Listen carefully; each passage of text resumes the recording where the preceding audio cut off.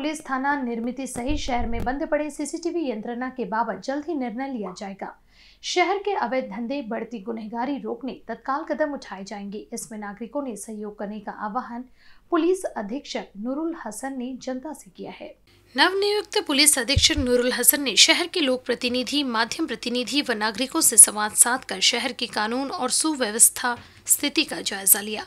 इस वक्त शहर के दामिनी पथक निर्मित करके शहर के महिला व लड़कियों को न्याय देने की मांग सह अवैध धंधे, रेती चोर रोकने की मांग की गई। पुलिस अधीक्षक नूरुल हसन ने दामिनी पथक साथ ही अलग से वाहतुक पथक की तत्काल निर्मित करने की मांग मंजूर की।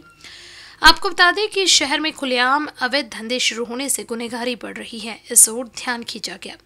शहर की अस्त व्यस्त यातायात, सालों से बंद पड़ी सीसीटीवी यंत्रणा, बढ़ती गुनहगारी पर यंत्रणा के लिए अलग से पुलिस थाने की मांग इस समय की गई। इस मौके पर सकारात्मक रुख अपनाते हुए, ज़ीरो टॉलरेंस इस उपक्रम के अंतर्गत गुनहगारों पर नियंत्रण करते हुए आम जनता को न्याय देने का आश्वासन भी दिया गया। पुलिस कर्तव्य के जगह जल्द ही क्यूआर कोड की व्यवस्था किए जाने की भी जानकारी दी गई। वर्धा जिल्ह्यासाठी वर्धा जिल्ह्यासाठी जे प्लॅन आहे, ते आहेत त्याच प्लॅन हिंगणघाटसाठी आहे. जे अवैध धंदे आहे, ते अवैध धंदे सगळे बंद झाले पाहिजे. त्यांना बंद करण्यासाठी जे काय गरज आहे ते आम्ही करू.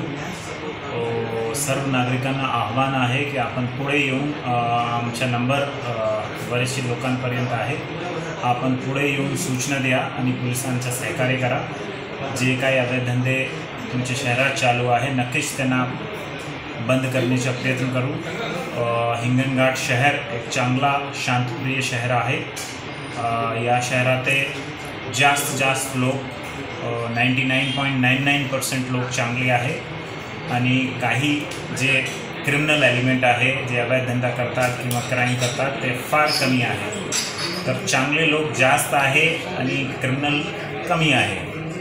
तर सर्व जे जास्त चांगले लोक आहेत त्यांना मी आव्हान करतो की आपण पुढे या पोलिसांना माहिती द्या पोलिसांसोबत सहकार्य करा. आम्ही तुमच्यासोबत आहे तुमचे पाठीशी आहे. लोकांना न्याय देण्यासाठी नक्कीच मी माझे स्तरावर जे काय पॉसिबल आहे ते प्रयत्न करतो. थँक्यू हिंगनघाट से कैमरामैन योगेश लखोटे के साथ रवि येनोरकर की रिपोर्ट.